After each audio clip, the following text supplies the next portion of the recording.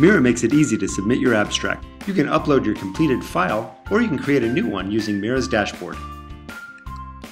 Mira software is intuitive. If you can use a popular word processing program such as Microsoft Word, you can upload with Mira. Mira lets you use all the characters that researchers use.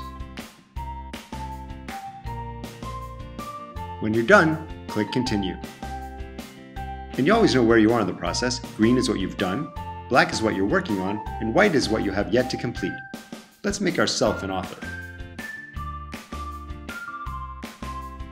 Are you the presenting author?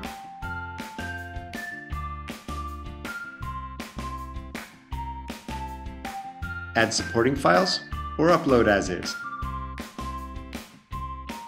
Add submission details such as track, physics, sessions, quantum mechanics, and presentation preferences. Let's be a poster presenter.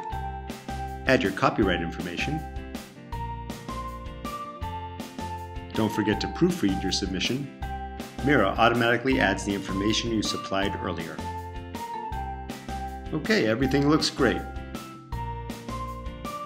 Now it's time to submit your document.